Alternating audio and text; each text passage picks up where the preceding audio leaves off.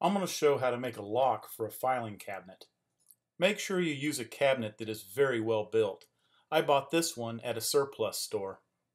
The first thing I did was choose a 1 inch square tubing for my bar.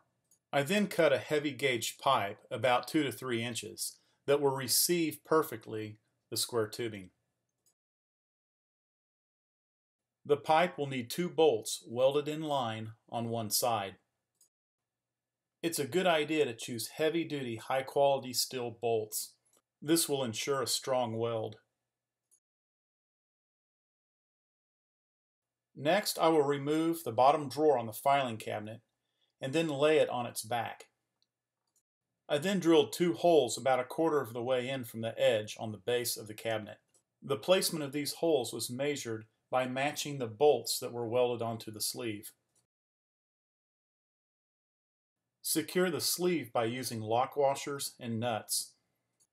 Tighten well with a socket wrench. Now that the sleeve is secure, I will now make the latching mechanism for the top. I purchased a heavy-duty hasp at a local hardware store. The loop of the hasp will be mounted at the top of the filing cabinet, directly in line with the sleeve that I just installed at the bottom. The loop hardware that I bought was a little too long, so I marked and cut to custom fit. I then removed the top drawer of the cabinet to make installing the loop easier. Using vice grips, I clamped the loop in place. At this point I had an option. I could either drill holes and bolt it in place, or I could weld it in place.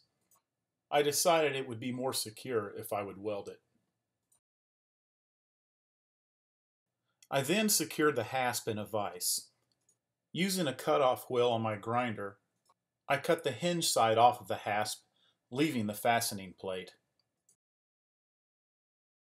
The fastening plate was then squared up on the end of the square tubing bar. It's important that the slot on the fastening plate is fully exposed and that the end of the bar does not overlap into it at all. I then welded it on all the way around. While the welds cooled, I returned the top drawer to the filing cabinet. The locking mechanism is now complete.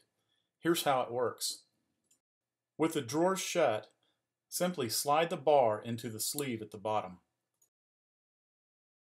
Then, fasten the hasp over the loop and secure with a padlock. Whether you use filing cabinets for files, pictures, ammo, or tools, this lock will add extra security to your property.